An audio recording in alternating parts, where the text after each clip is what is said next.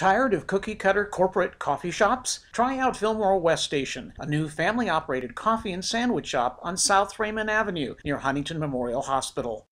Fillmore West is a standout for its relaxed, friendly atmosphere, great coffee and homemade sandwiches, and live music. Brothers and longtime South Pasadena residents John and Tim Halpin are owners, backed by their adult children. Along with musician relatives, the Halpins infuse their corner shop with a kind of Walton's family feel.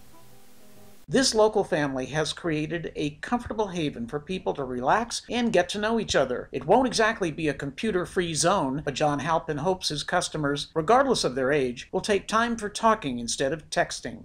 Fillmore West features coffee from the Supreme Bean Coffee Roasters, partly owned by fellow South Pasadenan Bill Hand. Chef John Halpin says his sandwich concept is very basic, but graced with unique flavors. His menu items are handmade to order using freshly sliced meats and cheeses. Early returns say Chef John's Melting Moments and Sergeant Pepper's on Rye are top customer favorites.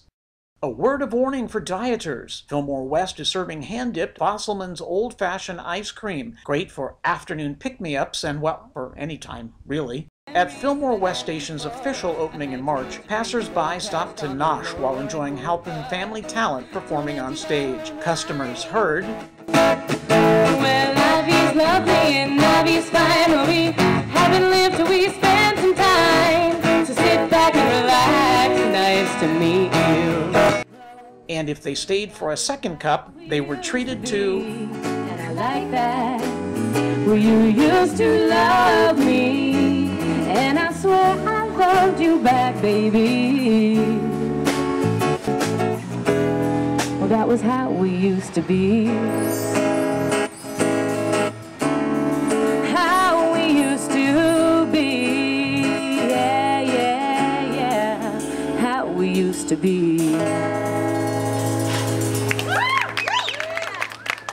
Thank you.